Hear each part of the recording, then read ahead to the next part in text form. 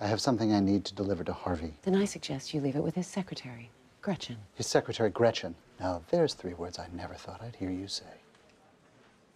Ooh, how long has it been since Harvey dumped you onto Louis's desk? How long has it been since I slapped you in the face? Because that is all I can think about right now.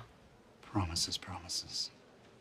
If you're here to take back your old office, Daniel, don't break out the measuring tape just yet because your plan to worm your way in just failed. So you can walk your ass out the same way you walked in. Louis. Like this after all you must have been through. What are you talking about? Her. I see you finally got the better of him on something. I didn't get the better of him on anything. There's no daylight between us. Now get the hell out of here. And do it quick before I have to call security to tell them I'm beating the shit out of you. No need. Since you're not interested in what I have to say, I'll go see Jessica. Just between us chickens, there's a chasm of daylight